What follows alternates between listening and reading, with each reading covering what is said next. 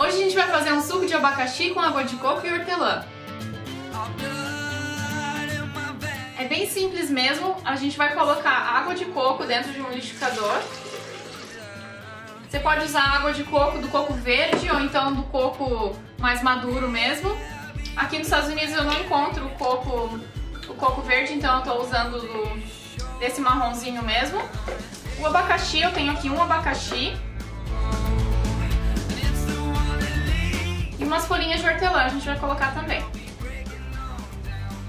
Se você quiser adicionar açúcar, pode colocar, mas eu vou testar primeiro, ver como é que tá, dependendo da doçura do meu abacaxi, vai precisar ou não. E aí é só bater. Eu vou colocar umas pedrinhas de gelo e eu vou bater só um pouquinho, só pra triturar um pouco do gelo, mas eu ainda gosto de ter um, um pouquinho de gelo. Esse aqui é de coração. Tá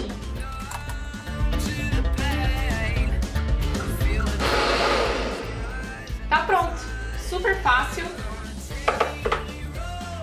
E agora é só servir.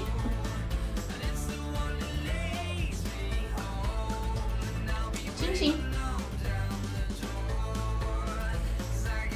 Hum. O meu tá super docinho, não precisei nem adicionar açúcar.